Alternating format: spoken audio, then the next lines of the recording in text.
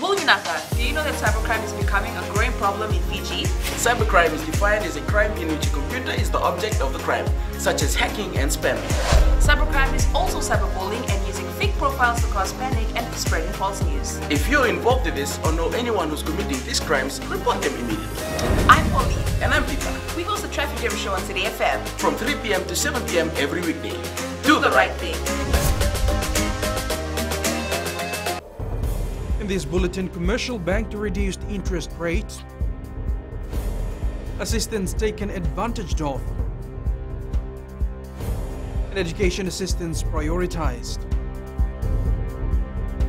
From the studios of FBC Suva. Commercial banks in the country for the first time have come out to say they are ready to slash interest rates in 2021.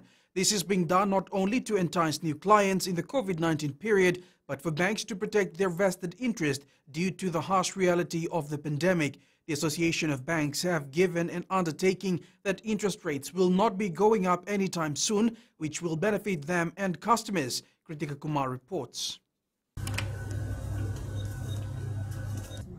The banks do not want a situation where they end up on the losing side and its customers lose everything they have invested in so far.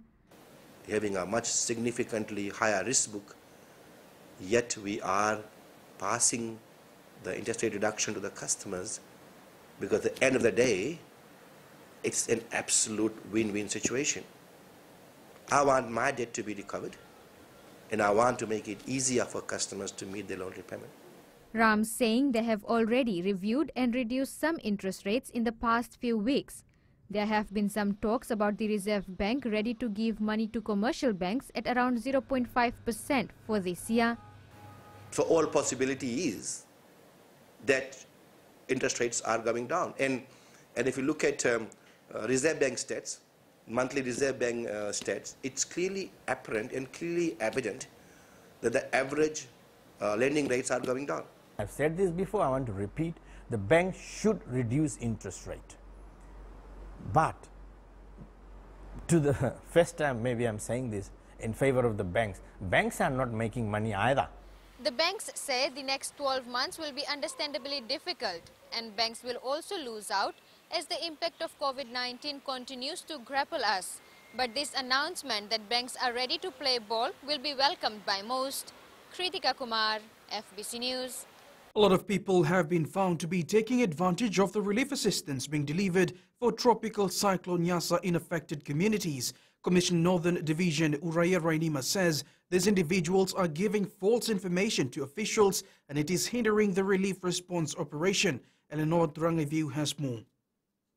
The Tropical Cyclone Yasa Relief Response Operation in the Northern Division has been receiving a lot of complaints from members of the public claiming to be affected. We've noticed that uh, some of them, when we visit their homes, uh, there is no damage. Uh, maybe they are seeing other communities receiving uh, relief items also, and they also uh, thought that they will, I can also go for it. Commissioner Northern Division Uraia Rainima says these individuals are complaining that they have not been assisted by government and are demanding relief supplies. If we have continued to have people to be uh, raising false alarms with our uh, EOCs, uh, we, uh, uh, really uh, don't want to encourage that. Eh? we want everybody to come out uh, and help uh, one another. Rainima says Fiji is being assisted by countless individuals locally and overseas, and the assistance should be directed to those who really need it. Our main source of livelihood here was totally destroyed. There's nothing left in our farms, so we are grateful for the assistance given to us by the government and other agencies. Rainima is urging Fijians to help each other during this time to restore Vanua Levu back to normalcy. Eleanor Turangaibiu, FBC News. United Nations Resident Coordinator Sanaka Samarasinha was briefed on the work of the Construction Implementation Unit yesterday. The CIU under the Ministry of Economy is overseeing all TC Yasa rebuilding and rehabilitation. Minister for Economy Aiyaz Sayed-Khaiyum and the CIU team provided an update on initial damage assessments and estimated repair timelines. Sayed-Khaiyum says the UN is an important partner in rehabilitation efforts. They were very interested obviously quite keen in respect of the work that's been done and they hope to bring a, you know, a bigger team next week to be able to you know, coordinate uh, with CIU. A number of donors, as we've seen, um, and development partners do come through the UN system. So it's important to keep the UN abreast of the, uh, the work that we are carrying out. The Ministry of Health and Medical Services is continuing its extensive awareness campaign against the outbreak of leptospirosis, typhoid, diarrhea, and dengue fever. Minister for Health Dr. Ifereimi Wangai says 21 days after TC Yasa, they are happy to report there has been no outbreak of these communicable diseases. Eleanor Trangavu again with the story. Three weeks after tropical cyclone Yasa hit Fiji, the Ministry of Health and Medical Services has not recorded any diseases from the affected communities. After extensive um, work throughout Vanua Levu so far, we know that there's been no outbreak post-cyclone. You know, there's been extensive damages to water sources, you know, carcasses of livestock, none so far. Health teams have completed carrying out the LTDD awareness in the cyclone-affected areas and will be revisiting them again. They are also monitoring the LTDD hotspots in the three provinces. Minister for Health and Medical Services, Dr. Ifereimi Waqainabete, says they want to keep the no outbreak status and this will take a lot of work. One thing that we've been reminding ourselves is the data that we had for yesterday is the data for yesterday because disease is very dynamic. So today we have to push out again. Every day we have to push out. So that's something that uh, our people on the ground are doing. One of the LTDD hotspots is Nawala village in Bua, which was also severely affected by tropical cyclone Yasa. The villagers are aware of their status and are being vigilant in ensuring there isn't any outbreak in the village. This was one of the villages in Bua that had a typhoid outbreak several years ago. The awareness teams have already been here and the villagers know what to do and are continuing to clean up our village. Eight villages and settlements in Bua, 15 in Macuata and 15 in Cakaudrove have been identified as hotspots for LTDD. Eleanor Turangai FBC News. The COVID-19 pandemic has affected Australia's ability to supply to other countries, including Fiji. However, this has not stopped Australia from rendering support in TC Yasa ravaged areas with all delivery and rehabilitation conducted in a safe manner. Australia's Councillor for Development Cooperation, Joanne Houghton, says this demonstrates the significance of the Vuvale Partnership. Uh, the supplies were procured by the Australian Government on request from the Fijian Government and we'll, um, we're very pleased to have been able to bring them into the country very quickly. Save the Children Fiji says it is important for children to come out of their fears after any natural disaster. Chief Executive Shairana Ali says their teams have been on the ground for the past three weeks carrying out assessments. She adds children are among the most vulnerable groups during and after a natural disaster, experiencing a range of stresses. Ali says their teams have been on the ground establishing child-friendly spaces to ensure children are in a protected environment. Our team in the field, they have reported that there are a lot of children who have been traumatized and are dealing with um, with that uh, trauma at the moment. Eh? Um, the experience they've had, um, uh, which was quite life-threatening when the cyclone passed over. So uh, they, they're quite distressed at the moment, these children, and also um, the adults in the community. And so there's a great need for psychosocial support at the moment. Up ahead, Suva Club after first NCC title. And youngster continues family basketball legacy.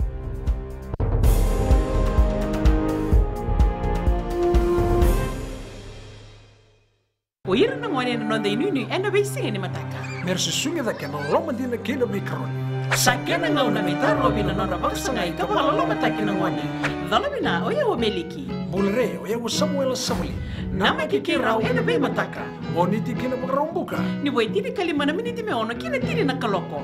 Ena radio fiji 1 na ndobo iviti indaukina na mataka dhanramaina singavo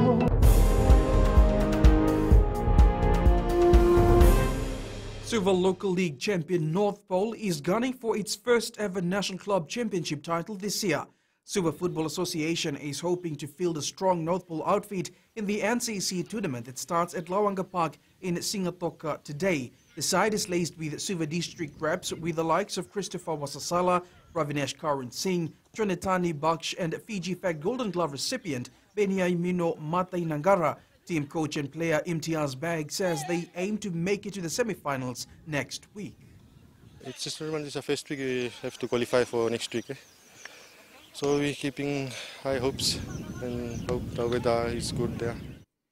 The Kaiviti Silktails will be based in Australia this season for the Ron Massey Cup. The debut season ended prematurely last year, finishing one game only before borders were shut worldwide with the COVID-19 pandemic. However, they plan to establish themselves in the New South Wales competition this year.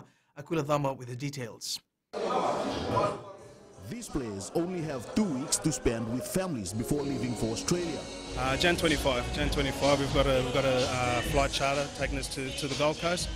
Um, as I said, it, that could change, but as as, of, as it is now, uh, 25th is our departure date. It's quite difficult leaving your families behind for the entire season. Yeah, it would be tough being apart from uh, all our families and loved ones. However, for these local players, they will have to make sacrifices, even if it means pulling more than they can or shouldering some extra work. The whole purpose of uh, this team being created, the Kaiviti Silktails team, is to create opportunities, those of opportunities for, for, all the local boys, and that is to, and if there's a the, and if there's a club that wants a player, the obviously the coaches and the management they will let them go because this is a development for the local boys to get a, a good career in rugby. The Silktails will spend two weeks in quarantine at the Gold Coast, but they'll continue their preparations. Aquila Dama, FBC Sports. Continuing the family legacy is a responsibility that Renandi Koroi is aiming to carry on. Inspired by the achievements of her grandparents, parents and older siblings, Koroi is hoping to be just as skillful as them. Venina Rakautonga reports the 16-year-old lass is leading the Lions team in the CAM Pacific Basketball Championships. Koroi represented the national under-15 side in the Oceania Games in 2018.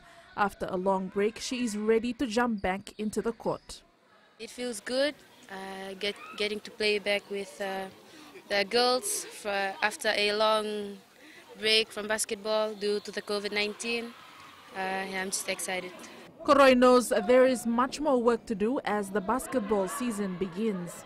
I want to improve in my skills, my shooting, and also in some maybe teamwork with my teams and also getting to know other players. Coach Aseli Tamanito Okula says Koroi plays a key role in the team. Oh, it's a big confidence booster for the team because most of my players are netball players and Ranandi is um, the one holding the team together. So with her in the team, it gives the other players that confidence to play and try and strive for greatness in this sport. With two more games to go for the Lions side, the team will have to turn it up a notch to make today's playoffs. Venina Rakautonga, FBC Sports.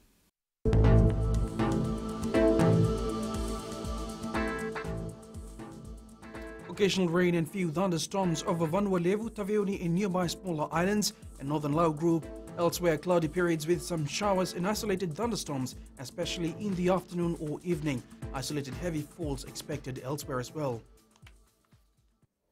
And that is your FBC Morning News. Do join us at 1 p.m. and 7 p.m. for our major bulletin. Have a great day.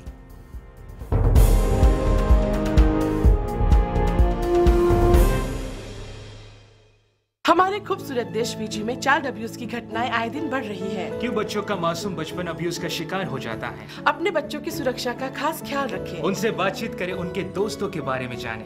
आज के बच्चे देश का भविष्य है।